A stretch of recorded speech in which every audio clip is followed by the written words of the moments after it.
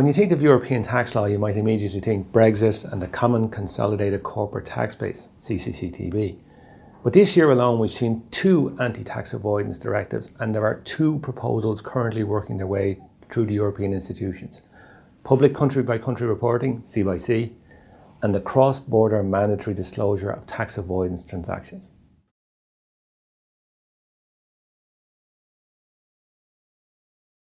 Public C by C requires public disclosure of certain tax information and it goes beyond the current country by country reporting in our law. And broadly, it applies for multinational entities with a consolidated worldwide turnover of 750 million euro.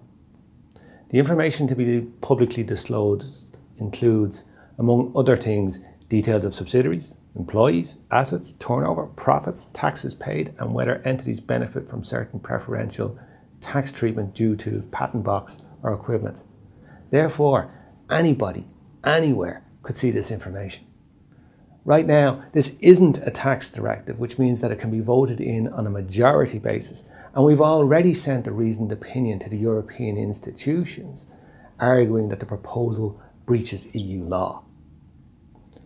The second proposal is a cross border mandatory disclosure regime.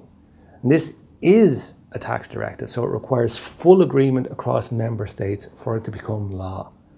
Ireland already requires disclosure of transactions with an Irish tax advantage where that advantage was a main benefit of the transaction and where certain hallmarks are met.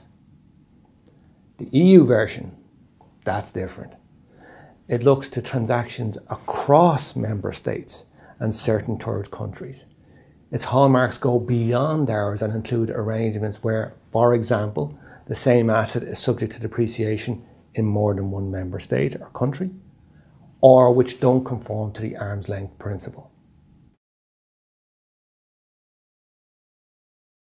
The issue of public country by country reporting is a sensitive one and goes beyond the base erosion and profit shifting proposals, BEPS, allowing suppliers and competitors access to previously confidential material.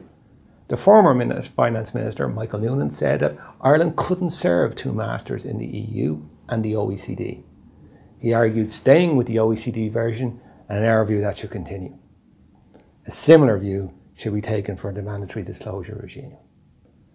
Right now, we live in a world of increasing transparency, so we may well see versions of these proposals in law, particularly for mandatory disclosure.